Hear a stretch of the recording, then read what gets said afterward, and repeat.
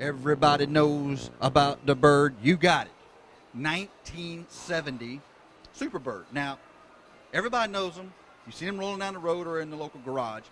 What's so special about a Superbird? Well, other than the fact they couldn't be sold in 1970, now you can't touch one for under $200,000. This car, I've got my gloves on, represents the 12th rarest muscle car in the world, the 1970 Hemi four-speed Super Bird. With me on this white glove special is Tommy White. Tommy represents this car. Now, Tommy, tell us why this blue Hemi Superbird is so rare. Well, here you've got a car that they've only made two B5 Blue with white interior four-speed Hemi cars. This is one of the two. This is the Survivor. This is just under 20,000 miles, original car. Yes, there's some little blams, there's a little scratches and some dings. It's a Survivor. It Make, no, let, let everyone know what exactly does the word Survivor mean. Survivor means as it was originally as built with original paint, original parts, original as possible aside from oil, maybe a filter or certain things that got changed during the tune-up stage in the life of its car with just under 20,000 miles. It hasn't been restored. It has not been restored at all. Okay. Tommy, take us through the interior of this Hemi Superbird. See the gauges, you got 150 speedo, you got a tick-tock tach, which means a clock built into the tachometer. See the four-speed shifter? That gets a big kick. A lot of people see that big old tall shifter sticking out of the floor. Now that shifter had a name. What was it called? Well, that's a Hurst shifter, and that, that pistol grip. It's a pistol grip Hurst shifter, and they were short and long. That's the long ones because that came in the B bodies, and the short one was in the CUDA. See the white bucket seats?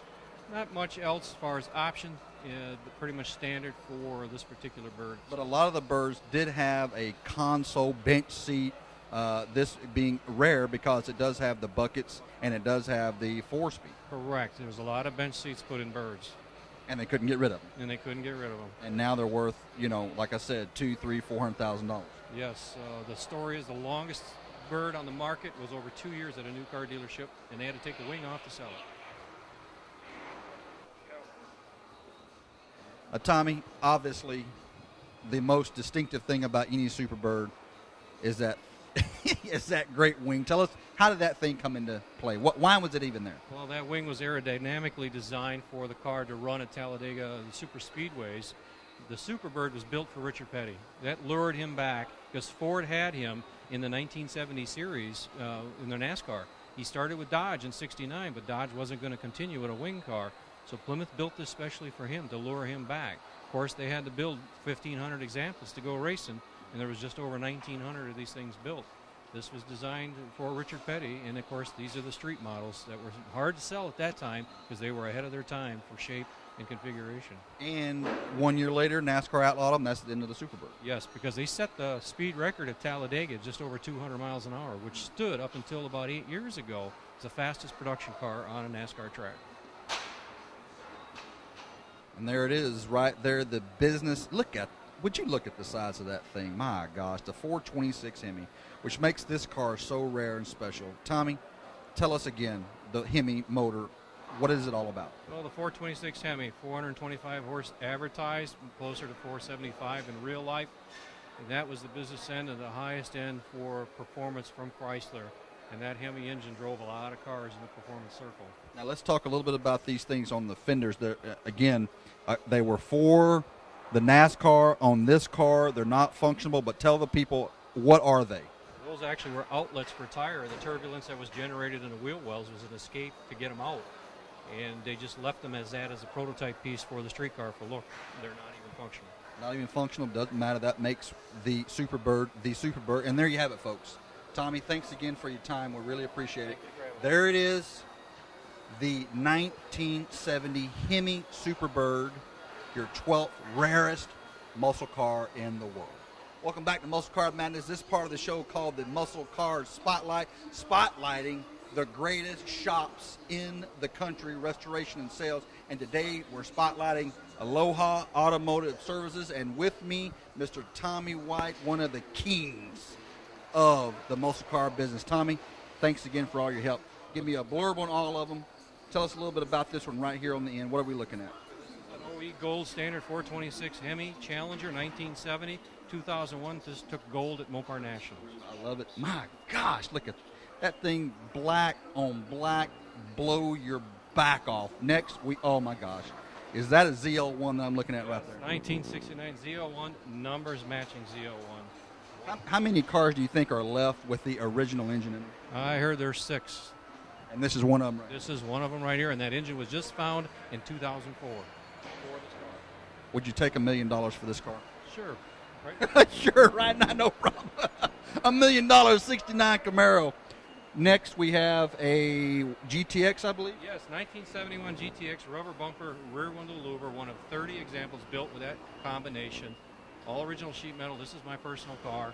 Uh, took four years to put it together. Very special, close to the hip car here for me. The GTX not quite up there yet in price, but climbing. Climbing steadily. Next, we have, well, you can see it, obviously. Everybody knows what this is 1970 Superbird. Now, what makes this one so special?